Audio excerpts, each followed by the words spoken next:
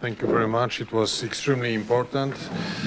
Uh, It's a pity that nobody from the ministry is with us because, as far as I know, this uh, matching fund that, that was mentioned, they are going to, to not only to suspend but, but to get rid of this matching fund. So, so we, we, we believe it should be reconsidered again because it's really important, especially for ERC grants and, and, and maybe not that much in, in other programs in Horizon 2020 like in, in, in ERC grants. And we'll see what happens uh, with the new framework, right? Maybe this will be changed in the new framework. Yeah, no, nobody knows. Nobody knows.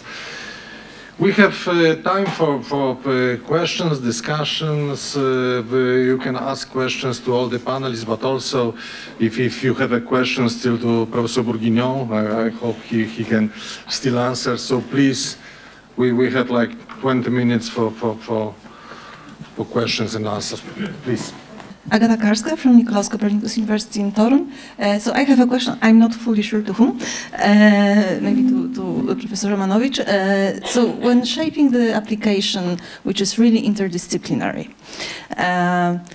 is it common or at least acceptable uh, to put the name of the key collaborator that will be uh, taking part in this proposal? This is one question. I, I'm from molecular astrophysics, so I'm talking about, I'm an astronomer, I'm talking about quantum chemists involved, uh, because I think that, you know, we have some shared ideas. Uh, obviously, I'm the leader, uh, but without his, you know, whole background, maybe this wouldn't be uh, really trustful, right, that we can do this.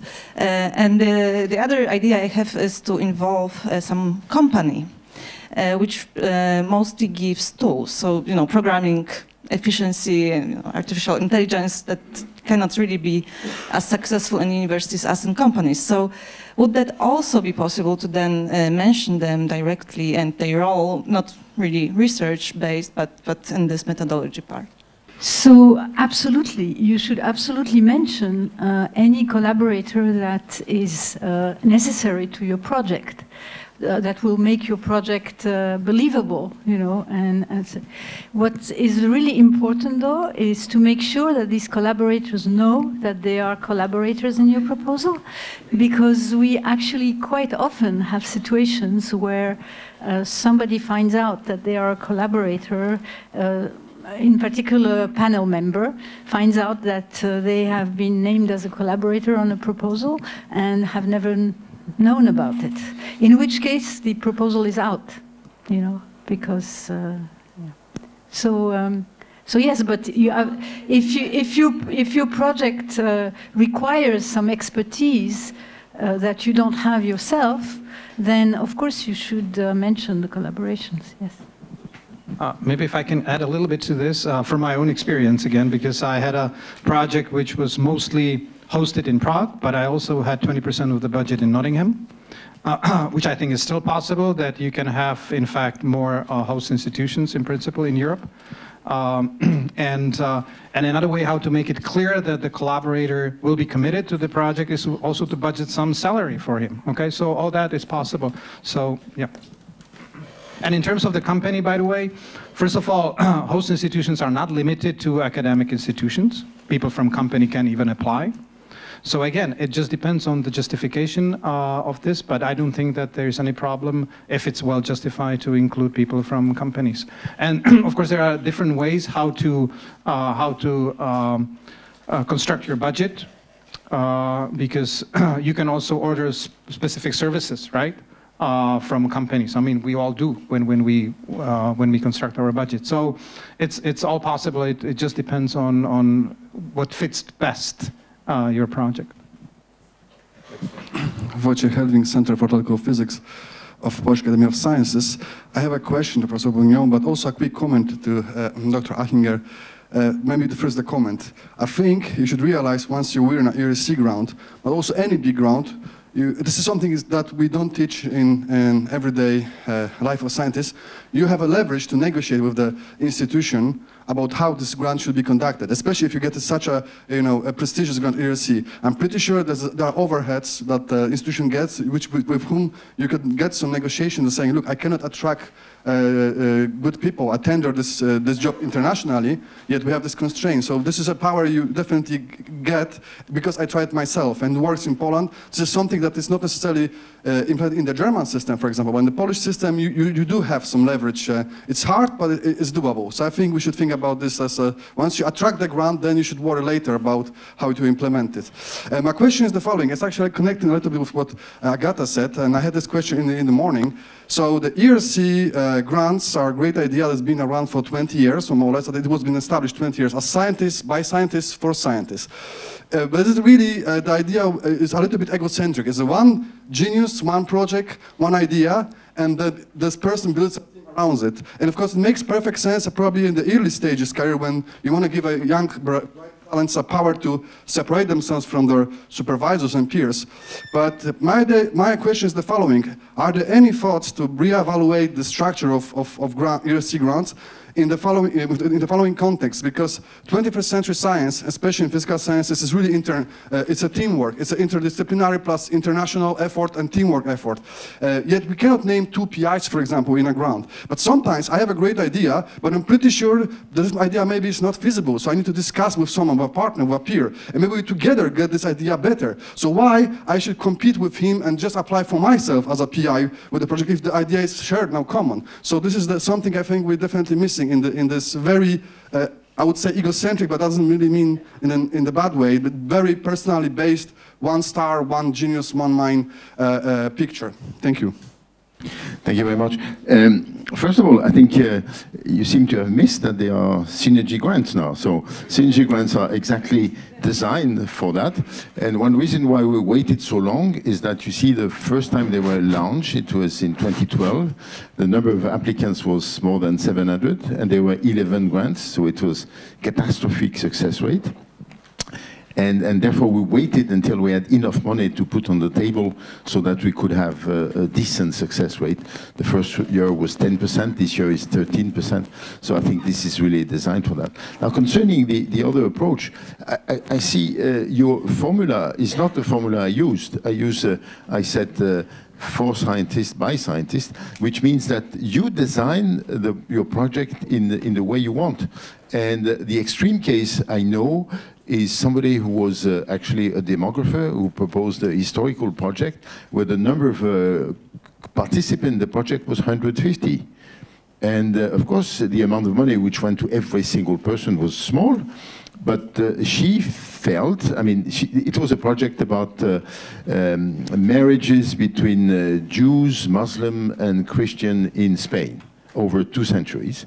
And uh, that person felt that the right people to really help her were really the people in the mosques, in the uh, churches, in the synagogues, rather than having somebody going knocking at the door and so on, because she felt that she would gather really in-depth information locally.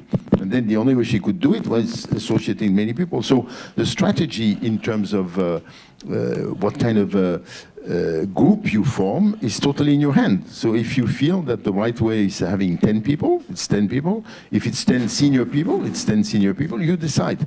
Uh, are, there is no limitation to this. The only thing we request, if you are forgetting about synergy for a minute, is that somebody has to take responsibility for the project, which is a different issue. But you still can uh, associate uh, the people you want.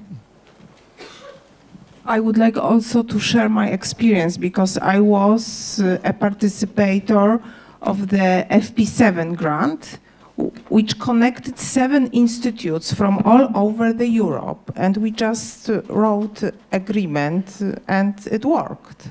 And the grant, a full team was like 30 people from seven institutes. So it is doable. And now question, practical question how to make the evaluation in Poland better. Uh, so, for instance, the question to Mr. Achinger, who made your financial plan in your application? You did it yourself or you had some help from somebody to do it? because this is something what I'm really scared about. It's a lot of work, and for instance, in Amsterdam, in UK, the scientists have a special person dedicated to it, and they even don't see Form A because somebody else, some, some dedicated person is doing this. We don't have it in Poland. So I'm asking you, who did it? Yeah, so Who the, made it? The short answer is I did it myself. Yeah. So, and this is a lot of work. And for instance, the person who is saying to us, you can apply for Uwertura and spend eight months or six months how to fill up ERC proposal, my answer is I don't have so much time to have to learn what I really not an expert Yeah, in. of course, you should focus on the science and not. Yes, and uh, so I think my, uh, in Poland the problem is also that we don't have such kind of help as people in Netherlands and UK have. Yes, so uh, the, that was a short answer. I did it myself. The maybe Yeah. more extended answer is that I uh, uh, I got some uh, some help from from these guys. So from the uh, from from the office of what's the English name? Scientific Research Excellence. Yes, um, and and. Uh, at some point, I was getting so for. I mean, but this was uh, difficult because, for example, I was, I, I was getting conflicting information from one source and from some other source regarding, for example, whether a, a, a laptop is equipment or some other rubric in in in uh, in the table, and uh, it was. Uh, it was stressful and uh, yeah uh, i wish i didn't i had never never had to look at these numbers and the problem the other problem is that you have to put some salaries and, and the salaries have to obey these horizon 2020 rules. And it's extremely and i think the accounting uh, at my institute tried to help and i think they still haven't figured out like exactly like how what's the best way to to pay us as uh, as much as, as, as we can because the problem is we cannot really spend the money um, that uh, uh, I mean it's, it's difficult to spend the money uh, with, with these rules in place yes Thank you very much. It's obvious that mathematicians cannot count, yes. but but, uh, but we didn't pay Dr. Achinger for, for saying these good words about uh, our office, but it is devoted to help you with, with also with the budget. But it is of course related to ERC grants only. So, so in case of other Horizon 2020 projects, you need to look for help in the other institutions like national contact points or but, but uh, yes, I realize that we don't have this support at many of the universities, and that's a very difficult task. Last, sentence. Because two years ago, I was invited also to participate in Young Researchers Training Grant in Netherlands.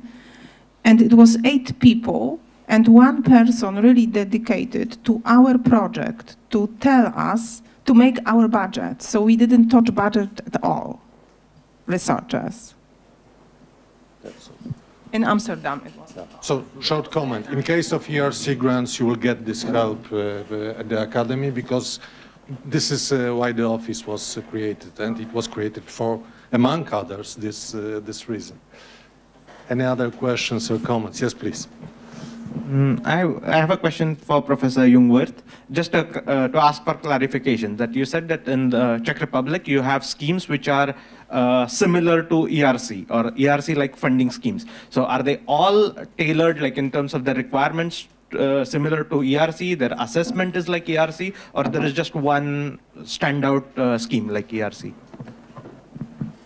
Well, they're not exactly the same as ERC because the competition is not exactly the same as ERC within Czech Republic, but, but the spirit uh, is very similar from many aspects. For example, uh, we first introduced international panels. Before, our Sci- National Science Foundation was all national panels. so I think this is extremely important because it's towards uh, Uh, um, um, it's, uh, it's trying to go against conflicts of interest and also improve your compet- competence of, of the panel. So this is very, I think, very important that we have international panels. Also, the way how the calls are structured, the, the work program, where they say we're going just for excellence. Okay, so there are no other criteria than just excellence, excellence of the applicant and of the uh, of the proposal itself. So from that perspective, are very similar. Also from the perspective of splitting it between senior and junior researchers, because that's also very important that the junior researchers are not competing with the senior uh, PIs. we don't have three levels, we have only two. We have junior and senior.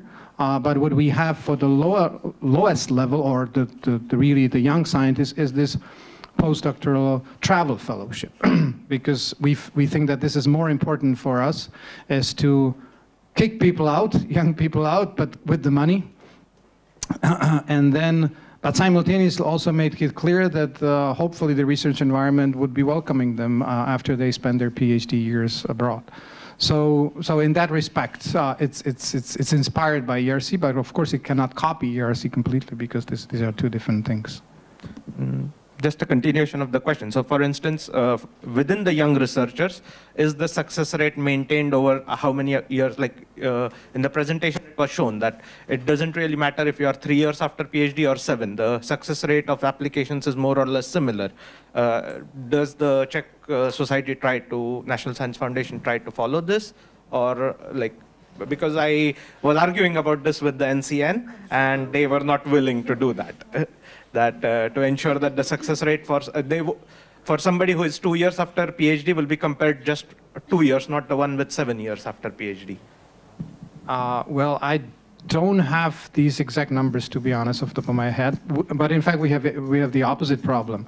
We felt that the success rate was too high, so uh, so uh, basically that that not enough people were applying and that the competition was not the competition we were hoping for, but we, we just hope that it will, you know, it will improve over the years. So we had a, I think, well over 30% success rate in this call, so many people could get it.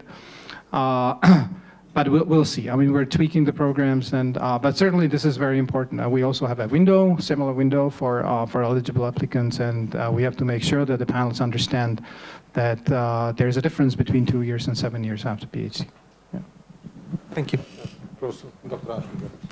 Yeah, so I also have a question to Professor Jungwirth, if I, I just recalled. Um, so you mentioned these uh, grants that you, uh, in, in Czech Republic you award to the people who got A's and B's.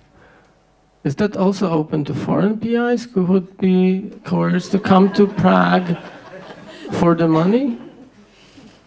Uh, it's independent of the nationality, but how it's set now is that it's for applicants from Czech institutions. But do you think that would be a good idea for it to be open to everyone who wants to move to the Czech Republic? We were toying with the idea.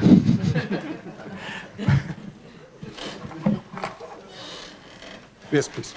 Uh, okay, uh, that's a very good th thing that uh, uh Dr. Achinger mentioned the uh, the grants for A's and B's. So I, I, would just like to share my experience. In 2015, I applied for an ERC starting grant. Uh, I made it to the uh, second round. I was invited for the interview, but, but I got a B eventually. Before that time, there was a program for the A's and B's of the Polish government, but I think it was at that time suspended. And I would like to strongly stress, and unfortunately there's nobody from the ministry here, I think it would be a very good idea to, to bring it back because it really alleviates many risks. Uh, and in the end, it would certainly increase the number of applicants considerably. So I can, uh, uh, when, when there was a lot of fight in Czech Republic, by the way, to keep that program alive, but now I think it's stable. But what, what, what they did lately in the Ministry of Education to really justify this program, they really scrutinized very carefully what's going on in Europe. So if you're interested, unfortunately it's in Czech language, but maybe we can Google translate it. Uh, there is a, uh, or you would understand anyway. Uh, uh, uh, there is a, I think it's a really a very detailed report of how different countries are introducing and dealing with this unfunded A's and B's programs. And I think this also helped our ministry, uh, people, people at the ministry to justify this program, that this is not a singularity in Czech Republic. And in fact, there are similar programs uh, in other countries. And everywhere, the message is the same. It's a win-win. The work has been already done by the ERC. Why not take advantage of it?